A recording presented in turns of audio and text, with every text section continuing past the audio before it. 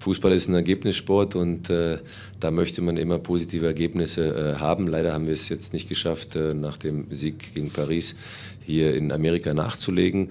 Ähm, das äh, ärgert mich schon. Wir haben hier in Amerika jetzt die doch sieben Tage sehr gut genutzt. Wir haben uns, glaube ich, körperlich auf ein höheres Niveau gebracht. Das hat man heute auch gesehen. Wir haben über 90 Minuten ein hohes Tempo gehen können. Das, was äh, mir nicht gefällt oder bisher noch nicht gefällt, ist die Tatsache, dass wir defensiv noch nicht so stabil sind, äh, wie ich mir das vorstelle. Nur, ähm, ja, man muss auch ganz klar berücksichtigen, wir haben sehr viele junge Spieler dabei, die das erste Mal dabei sind, wo das Tempo ganz anders ist als in der A-Jugend bzw. in der U23, sodass das Fazit sehr, sehr positiv ist trotzdem.